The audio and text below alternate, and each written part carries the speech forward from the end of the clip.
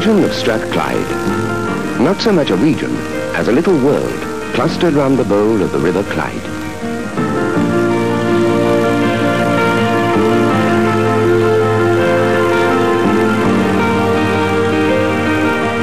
And at the centre, a city, Glasgow.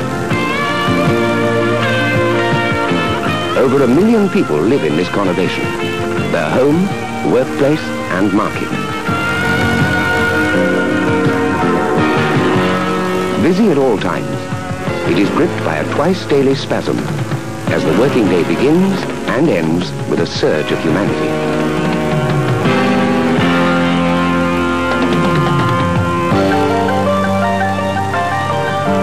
Buses are the worker bees in this crowded hive. A fleet of about a thousand serving the city. Unglamorous, unsung, unsentimentalized, and essential. To Glaswegians, their green and yellow livery is as familiar as the strip of a favorite football team. The team manager in this case is Strathclyde's Passenger Transport Executive, a statutory body which acts as the regional authority's agent for public transport over an area of 5,000 square miles, working closely with British Rail. The nationalised Scottish Bus Group and the independent bus operators, the airlines, Caledonian MacBrayne with its fleet of sea ferries, and directly operating the city's bus fleet and the new underground trains. The coordination of public transport, particularly in this dense conurbation, is most important. I think if we look at the concept, there's only one set of travelling public, and they're not interested whether a bus is red or green or a train is blue. They just want the, the most efficient system, as cheaply as possible and as reliable as possible. The passenger transport executive is therefore charged with developing a total plan of public transport to satisfy the needs of the people. And in this way, it is the only body to bring all the operators together in terms of pricing, marketing, and general performance of public transport. Well, with the change in the population distribution within the region and the growth in vehicle ownership and the change in travel patterns, it was necessary to take stock of the role of public transport and see how well or otherwise it was serving the community in which uh, it's based. This led to the development of uh, two projects after we had uh, looked to see how well we could build and what we had. Uh, these two projects, first of all, was the development of the Argyle line by making use of a tunnel right underneath the Argyle Street. We were able to link the railway networks north and south of the River Clyde for the first time, and that effectively integrated the two suburban networks north and south of the Clyde. And secondly, by uh, looking at the Victorian legacy of the Glasgow Underground, we were able to uh, see how that could play a very vital link within the development of public transport within the heart of the region, by linking it with bus, with uh, rail, with car parks, and uh, by serving the local communities in which it lay. Glasgow has been lucky with its holes in the ground. Other tunnels reach out under some of its busiest streets, like shadows on an X-ray plate, along the east-west axis of the city. Once, they were traversed by suburban steam trains. Older citizens remember the choking smoke hole that was Central Low-Level Station, until Dr. Beeching was brought in to make British Rail pay and perform surgery on this and other unprofitable lines. At last it was realized that this half-forgotten throughway was a hidden asset too precious to be abandoned. Now it emerges reinvigorated as the Argyle Line, so-called because much of its five-mile length runs under the famous Argyle Street.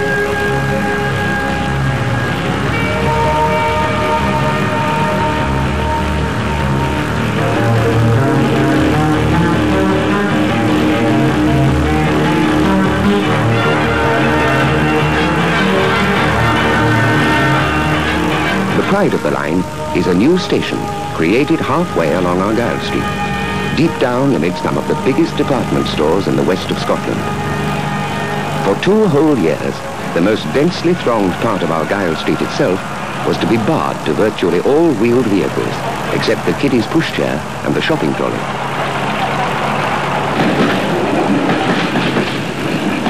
Partick, the second completely new station on the Argyle line, rises high above ground on its embankment where the tracks break ground.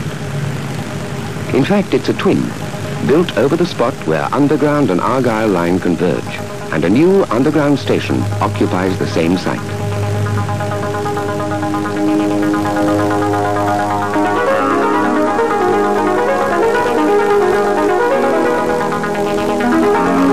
The Argyle line joins for the first time the network of electric railways which were separated until now by the Great Divide of the River Clyde.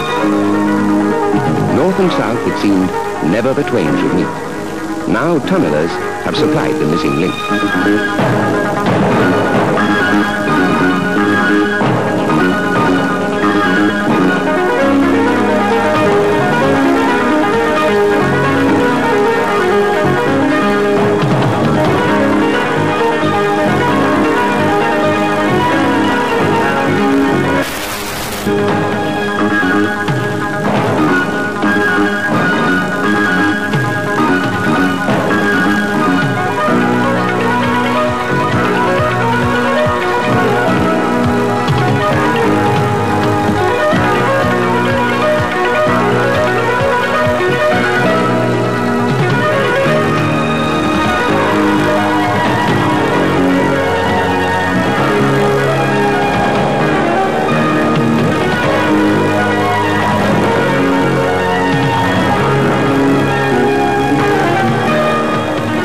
Noise, dust, din and discomfort made manifest.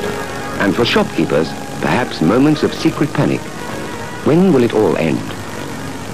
Once a year, there was respite in Argyle Street. The workers departed. Drills were dumb. Pile drivers paused. And the festival began. Lights sparkled. Here comes Santa Claus.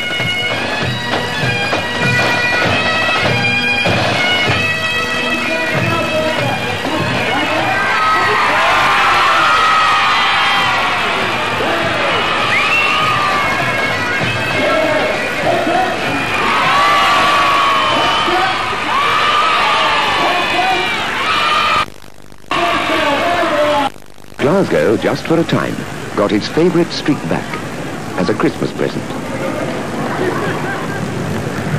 And there were other free shows. After all, watching men at work in holes in the ground is one of the great spectator sports.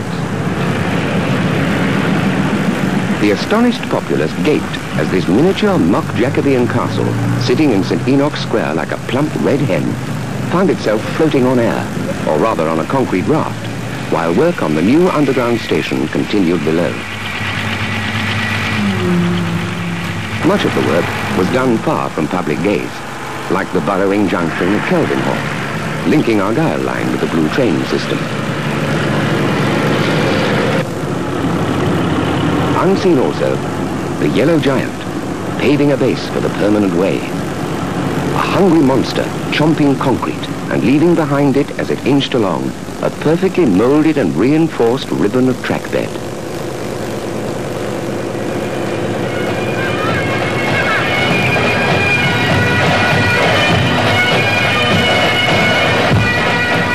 Midway through the chaos of construction, they put on a pageant. A weekend of jolly getting to know your public transport.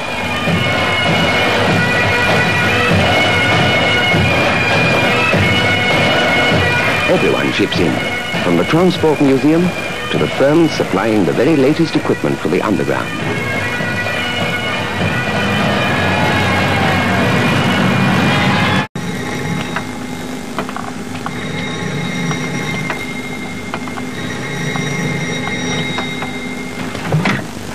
Hello, Jimmy. Any train to reach seven? Hello, Jimmy. Any train to reach number seven? Route number seven. Gone forever with the rest of the subway we once knew. Rapid transport in miniature for the Victorian city. A merry-go-round for workers and bowler-hatted bosses that began with trains hauled at the end of a tarry hawser and ended its first lease of life not so long ago as an all-electric curiosity of the 1970s. Nowhere else was there a system like it.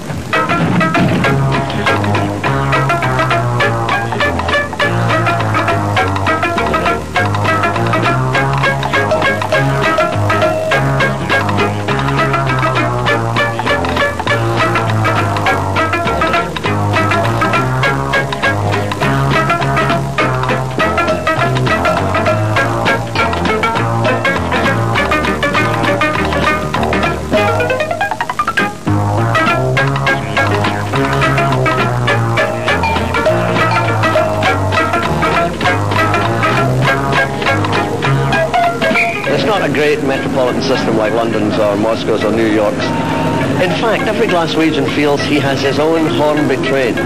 We don't need to buy expensive toys for Christmas because we've got the biggest model railway in the world.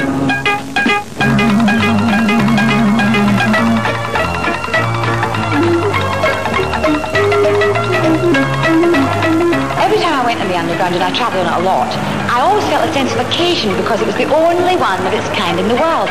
I always used to feel that this was like being in Toy Town when you were sitting in it, and it was very good for the liver. You get a wee rumble about, you know, so it kept you fit as well, and it was a slight tourist attraction. People coming out from the south were always dying to go for a wee huddle in our subway. Because it's that small, well, we have like a ghost train. I think it's marvellous how it's lasted so long. Oh, they're marvellously built. There's no doubt about that. Of course, these are original coaches. They were built in 1895. Very handy, the subway. Glasgow folk declined to dignify it with such a grand title as Underground. To them, it remained the subway. Antique units rode the six and a half mile merry-go-round on a bumpy, four-foot, narrow-gauge permanent way through twin tunnels under the center of the city, passing 15 stations in the half-hour circuit with strange-sounding names to tell.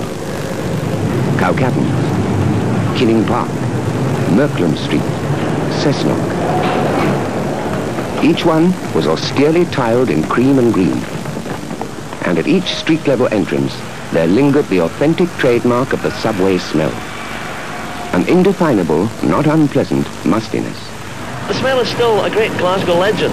It varies from station to station. At Kelvin Bridge, it was a kind of mixture of cold steam and old dust, a bit like wash day in a slum, but pleasant with it. And the other thing that went with it was the marvellous coolth of the Glasgow Underground. Even during the very tropical heat waves, which as you know we have for about 11 months of the year in Glasgow, uh, you can retreat to the, the cool, calm, serene grotto of the underground and restore the nervous tissues. The smell is something that people have threatened and tried to bottle for export, but like very fine and delicate wines, it does not travel. Okay, cat, take it off. In the depot, where trains were laboriously craned up through a hole in the ground, the only time they saw the light of day, ingenious craftsmen performed miracles of make, do, and mend to keep the obsolescent stock on the rails. Reconditioning, adapting, even cannibalizing from trams as they went out of service. But in the end, the subway was running out of spare parts, just as it was running out of passengers as the tenement blocks above were demolished. And finally, the subway ran out of time. The twin tunnels fell silent. Well, we'll lose a, an awful lot of memories. At the same time, I believe that uh, progress must go on.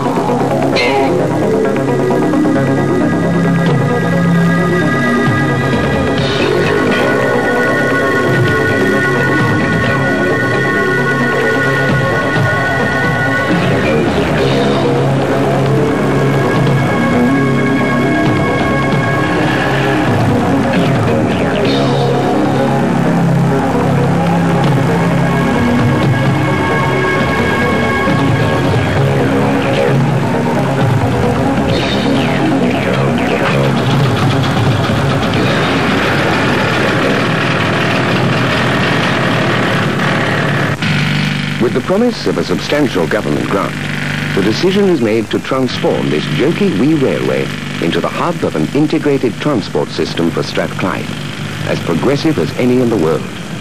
New stations, new signalling, new track, new rolling stock, new ideas above all, and the accumulated experience gleaned from underground systems built all over Europe in the last few years.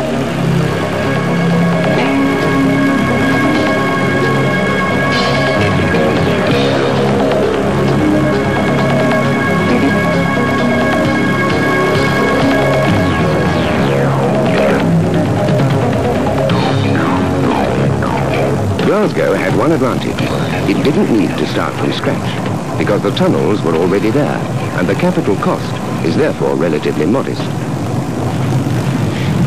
The related disadvantage is that the line is more or less fixed and that working in 11-foot diameter tunnels, first built for cable traction, gives little elbow room for either designer or builder.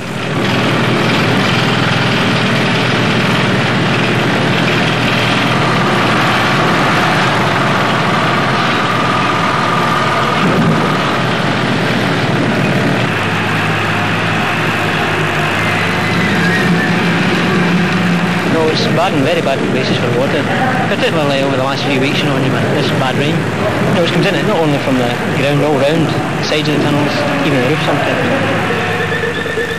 Water, ever the tunneler's bane. And of course, there were plenty of headaches for all concerned. Trying to meet the tightest of schedules. How to keep the merry-go-round going.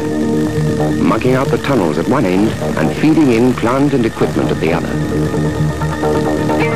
How to make elbow room for a major engineering project confined in a circle less than three and a half meters in diameter. There was flooding, frustrating mechanical hitches, bugs in the electronics.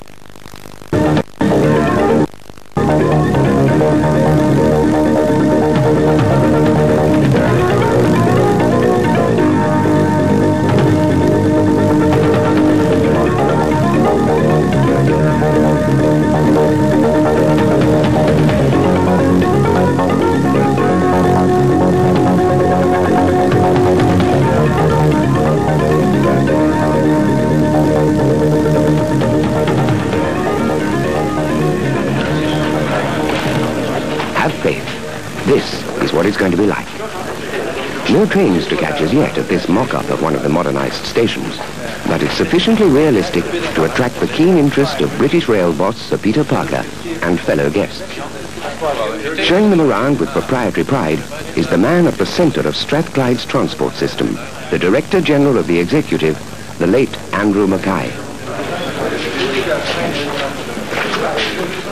Room to stretch, and a capacity of 90 in each car when it's busy. 34 sitting, 56 standing. Glasgow School of Art provided early inspiration for the design, aiming at a chummy cheerfulness to complement comfort and quiet running. I mean, this is going to be the original Clockwork Orange.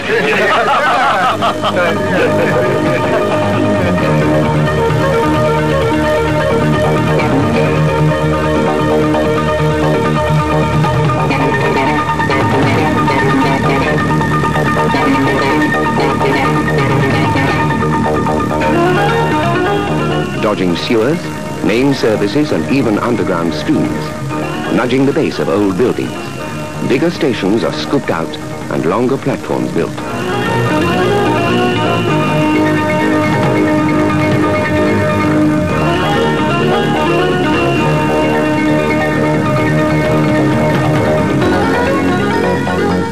Stretch of new tunnel is driven, allowing the new train units to surface for overnight parking and access to the new repair shop complex at Broomloan. At nine of the 15 stations, escalators will carry passengers to and from street level instead of the former flight of steps. At Buchanan Street, a covered moving pavement will ease the way to Queen Street Station.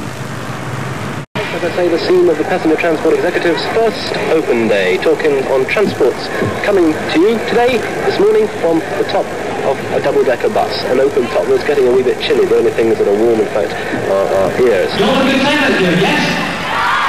Gonna try that again. Did you have a good time out there? Wonderful, wonderful, wonderful. It's actually beautiful. Looks lovely. Body-wise, very nice. I think they're going to be very comfortable. First class, really first class. Terrific. Beautiful. Really good. It's a pleasure to travel in it. Very good. Terrific. It's lovely. It's really luxurious. It is. And a wee seat inside it. Everything is beautiful, but it's great. I like the seats. I like everything. Very nice. It's nice to see that Glasgow's going to have something modern at last. I think the seats are the best. Nice and clean and flat. It's beautiful. Very nice for Glasgow. That's what they were needing. Something we can look forward to.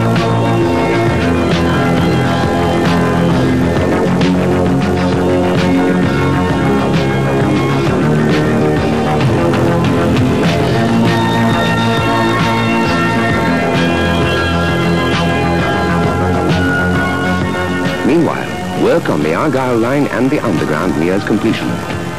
Behind the scenes, long hours have been worked. Weekends have been eroded by passenger transport staff, by the consultants, by an unseen host.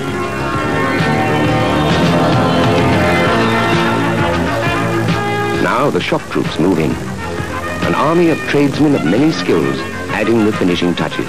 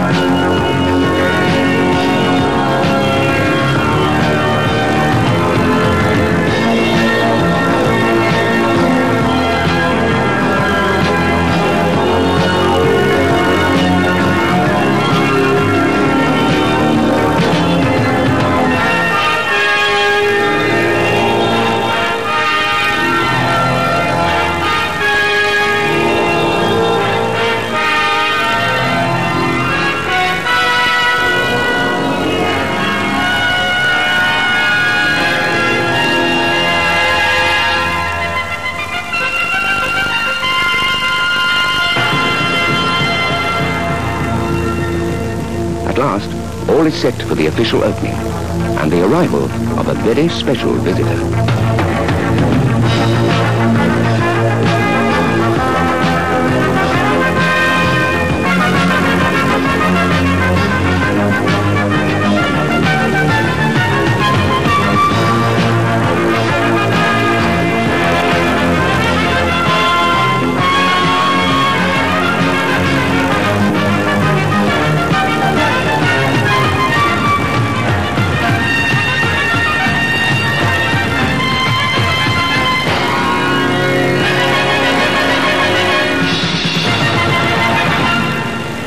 British Rail's most up-to-date technology has gone into the Argyle line. Brand new units for the trains. New or completely modernized stations. The line is a godsend to the crowded city, created for thousands of shoppers, business people and office workers who throng Scotland's busiest urban centre. Down in the depths of the earth, an orange revolution. The moment footsore Glasgow has been waiting for, and a city resumes its love affair with its little railway.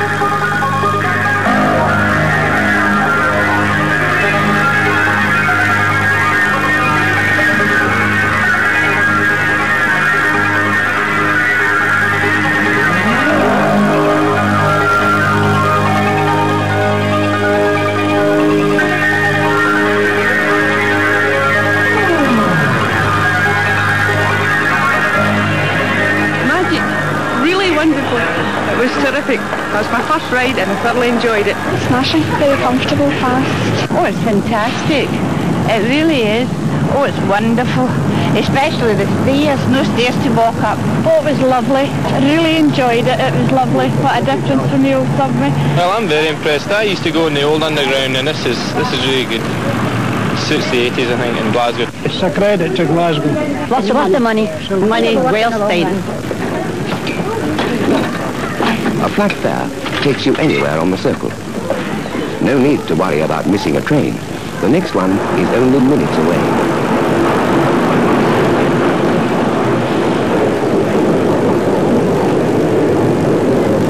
Each of the 33 motorized cars, designed to operate in units as twins or triplets, is a highly sophisticated look-alike, A little technical marvel, with everything from radio link to complex automatic train control.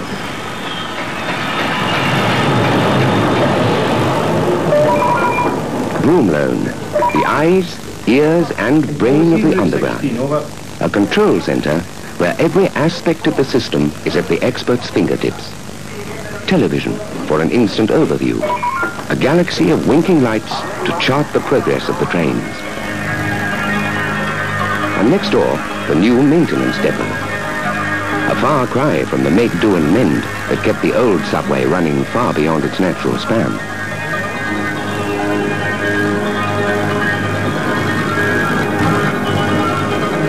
This is the precision-built heart of tomorrow's world.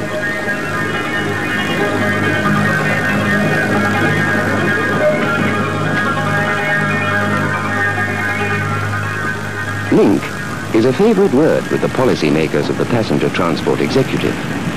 And they make switching between different types of transport easy wherever they can.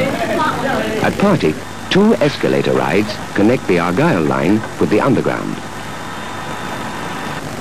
At Buchanan Street, a moving pavement now eases the way to Queen Street Station.